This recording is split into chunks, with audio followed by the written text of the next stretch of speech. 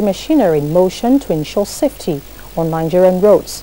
The Zonal Commanding Officer, Lagos, Godwin Ogagaoghene, told the media that plans by the Corps to this effect since 2014. Abolore Ogbara has details. The World Health Organization set about victims of road traffic crashes. The Federal Road Safety Corps organized a press briefing with theme Speed Kills Out Speeding to mark the day.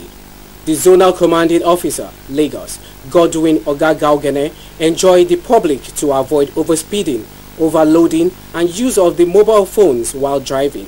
He also advised motorists not to drive under the influence of alcohol, putting the lives of others at risk. Of uh, an emergency and um, your judgments, your judgment may be faulty. Oh, I will get there, I will be able to handle before I get there. Before you see already and of course if we are lucky to come out of it unhurt then uh, glory be to god we are using this opportunity to appeal to the motoring public to bring to their consciousness has to do with safety of lives and properties on our roads the FRSC also promised to curb all dangerous habits of drivers on the roads in order to prevent accidents. In Lagos, Abolore Ogbara, NTA News.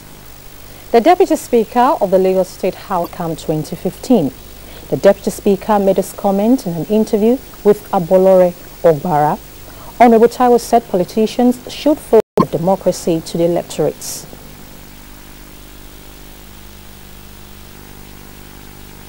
We should pray to God. God should give us a free and fair election that will make Nigeria proud. That will give us that uh, leverage international the, the, the international community. Because if you don't have good elections, the community they will of their cards. Offices in all the local governments. What they what the INEC only, only need to do is to equip the office to, to be able to carry out that function even without necessarily needing to, to break and now say okay people should come and register. It's more expensive now because we now need to pay staffs that receive salary every time. There are permanent staff that will do it without any additional cost. It's even cheaper for them. The rate at which people are coming out for the PVC, you know that Nigerians are ready to vote. Nil in Africa Cup of Nations qualifier in Brazzaville. Ike Uche scored Nigeria's first goal for Aaron Samuel. Nigeria's goalkeeper Vincent Enyeama Eleron saved a penalty. Africa Eleron beat Sudan to qualify for AFCON 2015.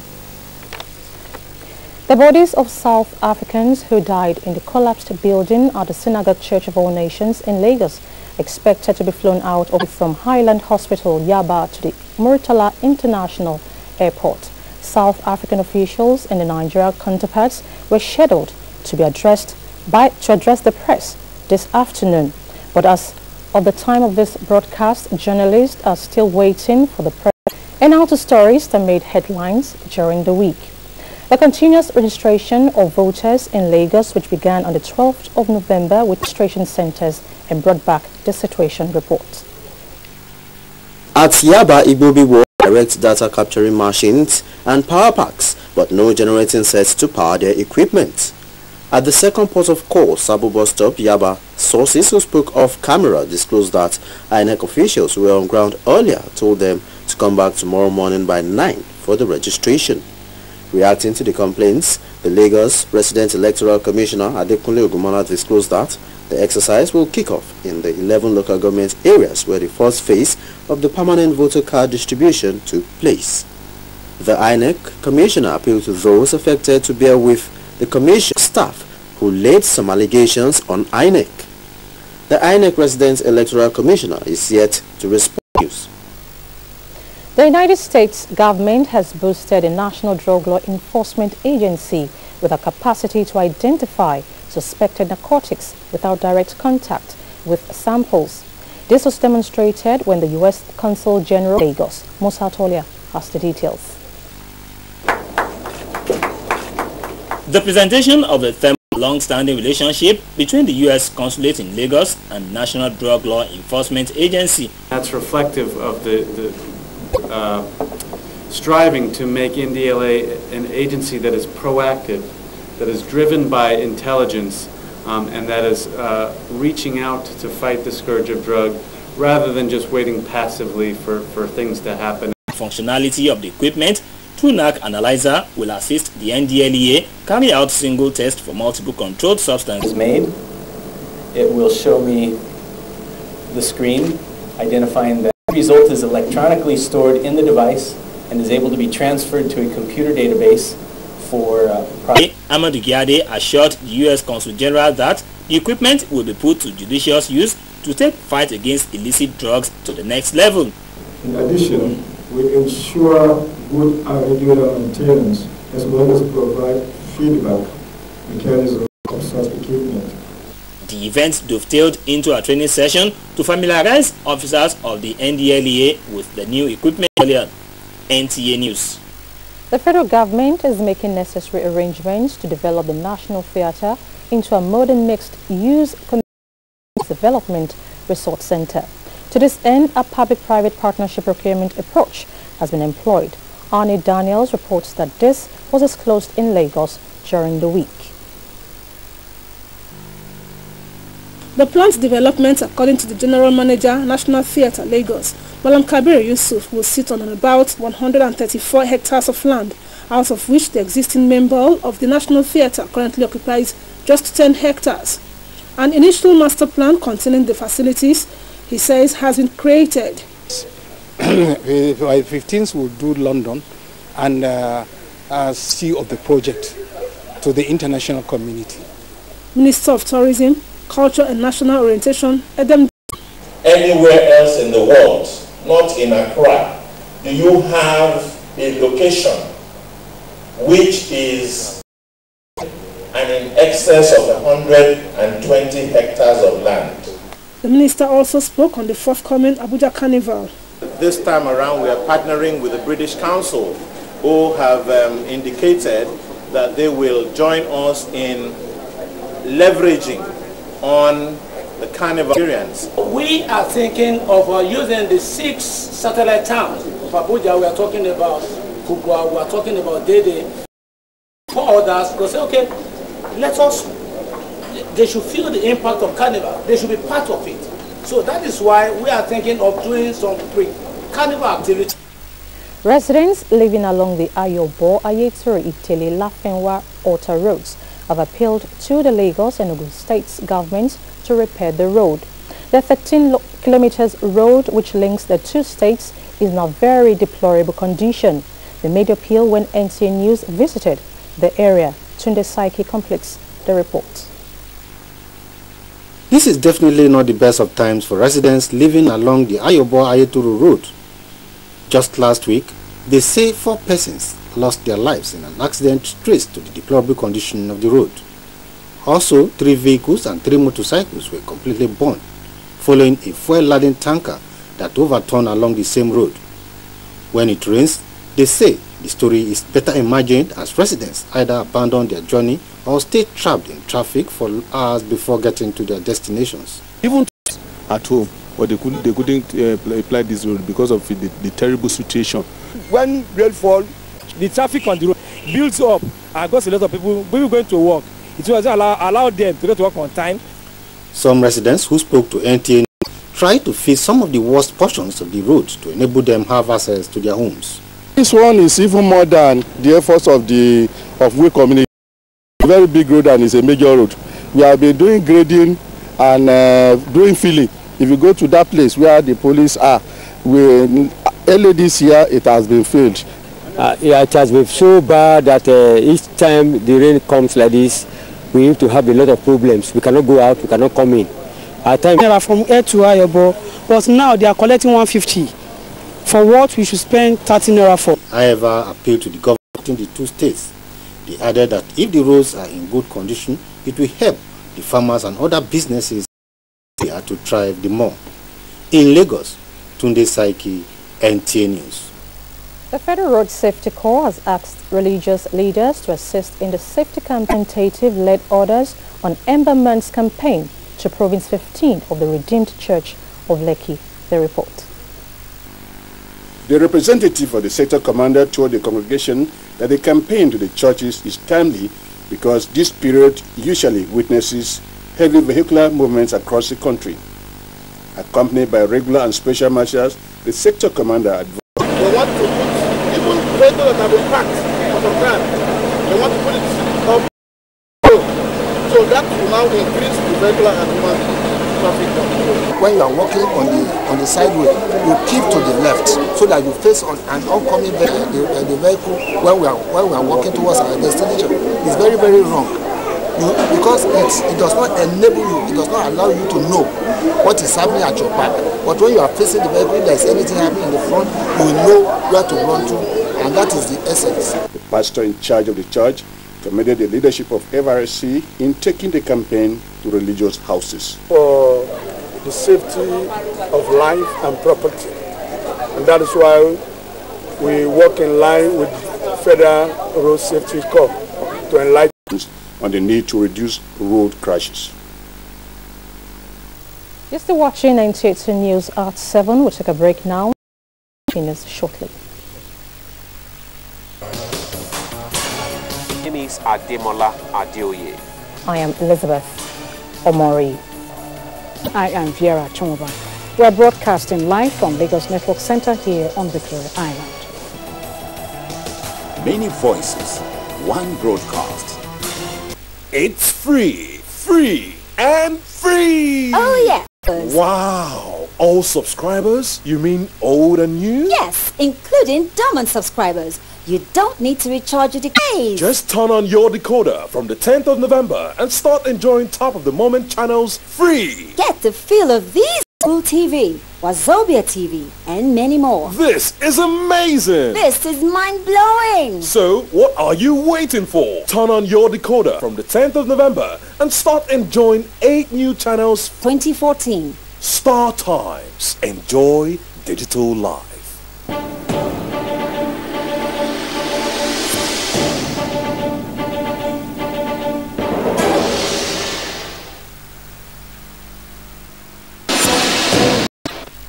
Welcome back. A new virus disease known as Marburg has been detected. NTA News went to town to ascertain the level of awareness by Lagos residents on the new virus. The reports. is a rare acute infectious hemorrhagic viral fever which affects both human and non-human primates.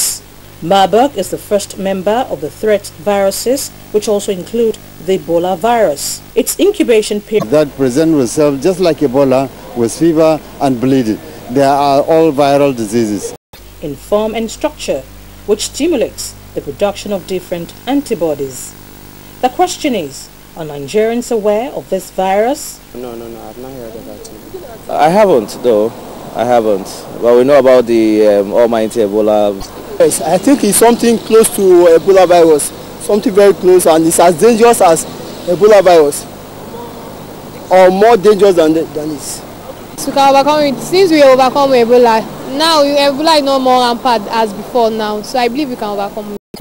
When, by grace of God, any kind of uh, disease enter to Nigeria, will goes out again. Symptoms of the virus are weight loss, inflammation of the eyelids, liver and intestines, headache, and malaria. It was first diagnosed in central and research states that the virus can also be destroyed by ultraviolet and gamma radiation. Marburg is named after a German town in which some of the first cases were described. The need for better and improved management of respiratory system diseases in the country has been advocated. The Supervising Minister of Health made this remark in a message at the 2014 annual science For this year's conference, emerging trends in lungs diseases in Nigeria has been described as apt, considering the changing trends in the respiratory conditions that affect Nigerians. We have seen that this is becoming a, a, a, a serious challenge on people, especially individual individuals, because by the time they go to bed to sleep, the airways uh, collapse. Increasing urbanization, environmental and industrial are factors responsible for the increased prevalence condition. We are also encouraging and creating awareness that the workplace must be safe. So be able to work actively and productively and they are not going to carry disease from their workplace to their home. The Supervising Minister of Health in a message to the conference advised thoracic surgeons to emulate Medical practitioners advised that early detection is key to effective treatment of the disease. The diagnosis is very, very important. By the time you realize that this uh, uh, condition exists, for instance, you can now meet the specialist for the treatment. The Nigerian Thoracic Society pledged its continued advocacy in ensuring good optimal health for the society. In Lagos, Lynn Lenake, NTA News. Nigerians have been advised to take health issues with utmost seriousness at the flagging off ceremony of the free medical exercise put together by the agency in Ijora, Lagos. The report. Residents of Ijora and environs came out to take part in the exercise. The medical team checked their blood pressures, ascertained HIV status and sugar levels. There was also tests for malaria and hepatitis among other diseases. Medical experts at the venue note overemphasized as accessible healthcare system is the hope of billions of people across the globe and prerequisite for up Health is wealth, like they say. And um, even for HIV particularly, people should not be afraid of coming out to test, of receiving their screening because HIV is no longer a death sentence. It is one of the strategies we have found that is working because when we test them and we find their the different hospitals where they can be taken care of. The objective is uh, to give a good health. Order the efforts of the agency and concerned individuals for the initiative. Very nice. I like their working with uh, this thing, NAPA. And the person that bring this thing, God will be helping them. We are feeling happy. Then we thank the government. The free medical exercise afforded their residents the opportunity to have access to quick, qualitative health. Process of repatriation of already identified bodies from the September 12th synagogue building collapse area. Correspondent Kendi Olale has details.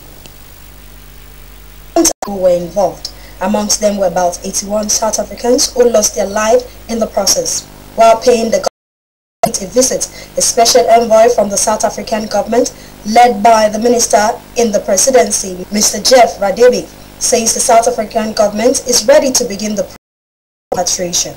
The team are ready to repatriate them uh, when we get the green light. Infrastructure is ready. Uh, two aircrafts may be arriving and then... Once again thank the state of Lagos for cooperating with our team that has been here.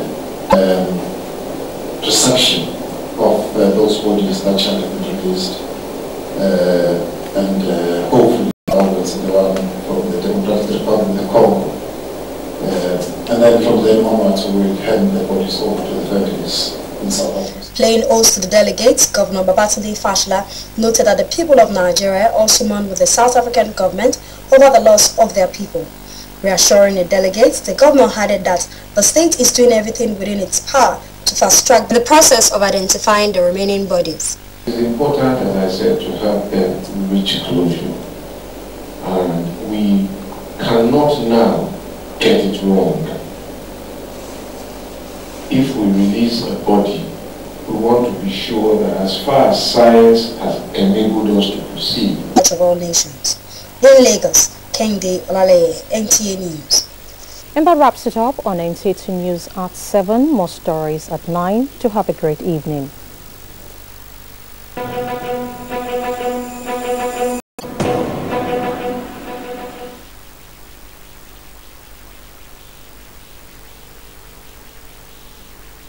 of global growth and job creation.